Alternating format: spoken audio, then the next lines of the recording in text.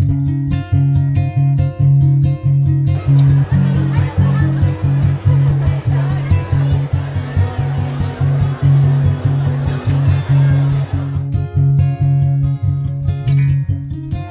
Suzanne Hopper, c'est une, nouvelle série qu'on a décidé d'intercaler euh, avant la fin de d'Oxa pour euh, prendre un petit peu de recul aussi, nous permettre de décrire presque la même chose mais autrement. Euh, on reste dans le fantastique, c'est une histoire plus sombre, c'est du fantastique beaucoup moins flamboyant qu'Oxa, où là on est dans la magie pure, les créatures, le côté très, très aventure.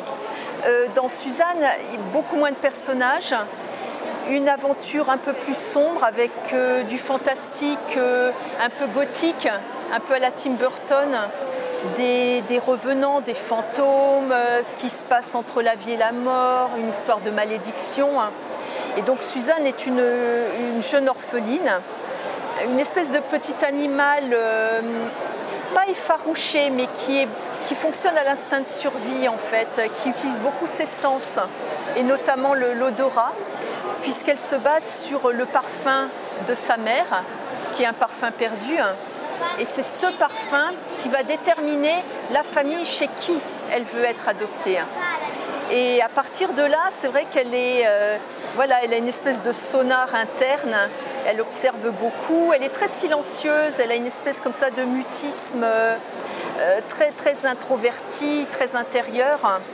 Mais à partir du moment où elle va repérer le, bon parfum sur euh, Hélène Hopper, qui va être la, maman de sa nouvelle famille, là voilà, l'aventure va vraiment pouvoir commencer avec une révélation sur ses origines et des choses qui vont à la fois se compliquer et s'éclaircir par rapport à sa propre identité.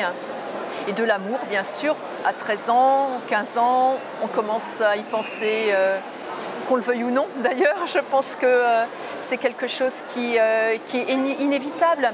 Donc elle, voilà, il y a le- les, sentiments qui se mêlent à tout ça, autant l'affection, la tendresse maternelle, euh, l'amour euh, beaucoup plus amoureux aussi, hein, avec le jeune garçon de la famille qui s'appelle Elliot, qui est un grand solitaire lui aussi.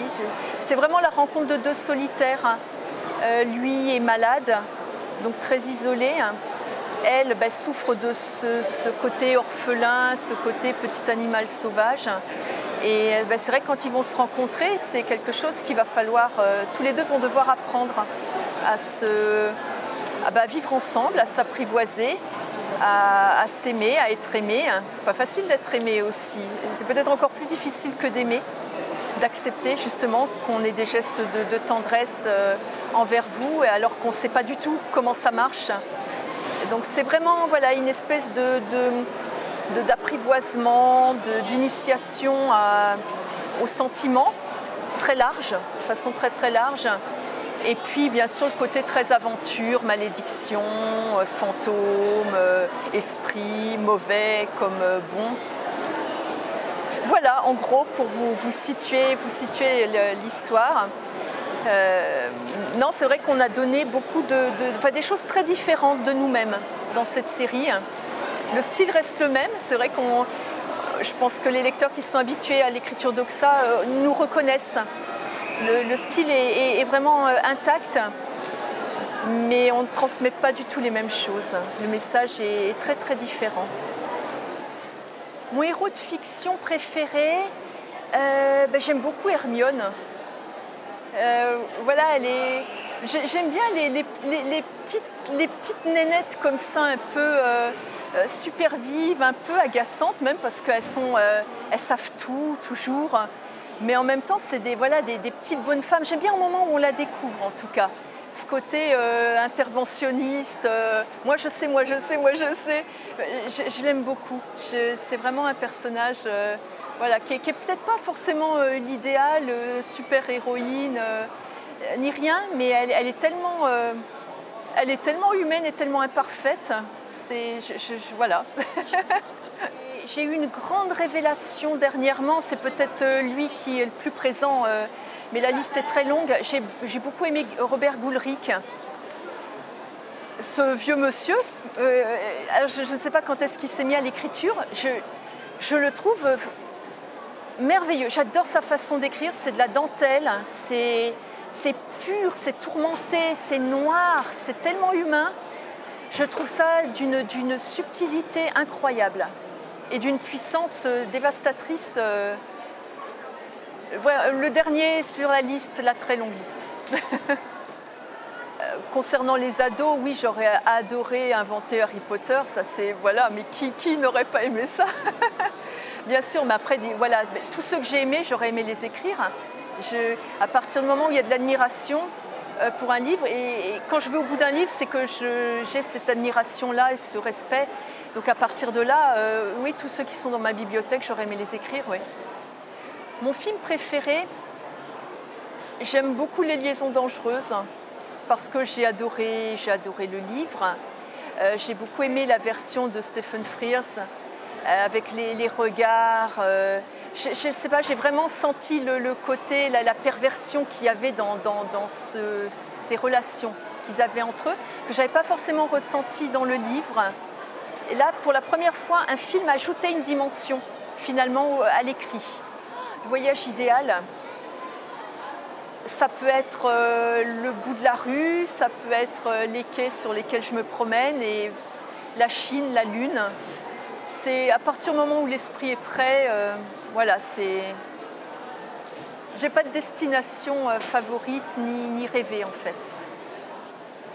Défaut, euh, trop, trop de doutes, trop de tourments.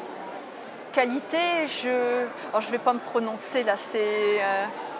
je pense que j'en ai quelques-unes et j'essaie de les utiliser au mieux. Je pense que je suis très gentille. Et, c'est pas, et c'est voilà, au bon sens du terme en tout cas. Alors, mon héros de fiction préféré, eh ben, c'est Peter Pan. Peter Pan parce que euh, ben, voler, hein, c'est euh, voilà, j'adore, j'adore ça. Et euh, ben, pour toute son histoire, pour voilà, ne pas grandir. Et voilà, fait clochette. Non, non, c'est vraiment mon personnage préféré.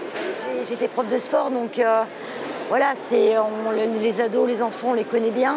Et, j'aime ce côté où on ne se prend pas la tête, où on reste dans quelque chose de vrai, où on ne triche pas en fait. Et euh, voilà, moi je suis bien dans, pas dans ce rôle, mais euh, dans, une aventure où, on raconte une histoire pour eux en fait. Alors mon auteur préféré, ben, c'est euh, John Fante. Mon film préféré, hein, Édouard Rodois d'Argent Euh, j'aime beaucoup euh, les univers un peu glauques comme ça. Euh, ça me plaît bien. Un ticket pour l'espace. C'est mon grand délire et, et j'irai. J'irai parce que je, veux, je veux aller très loin au-dessus et, c'est vraiment une passion. l'espace, c'est vraiment une passion. Donc j'espère pouvoir le faire je m'emballe très vite. Euh, je suis tout de suite très enthousiaste et euh, je veux aller très vite.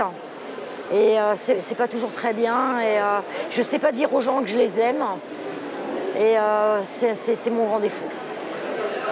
Ma qualité, hein, quand j'aime, j'aime. Et, je ne m'arrête plus. Donc voilà. L'objet, hein, alors je vais pas dire une fusée, hein, mais je dirais un ordinateur ou une paire de jumelles. Pour écrire, euh, pour dessiner, pour euh, m'informer, euh, pour voir, pour apprendre. Et des jumelles pour, pour regarder au-dessus. Voilà.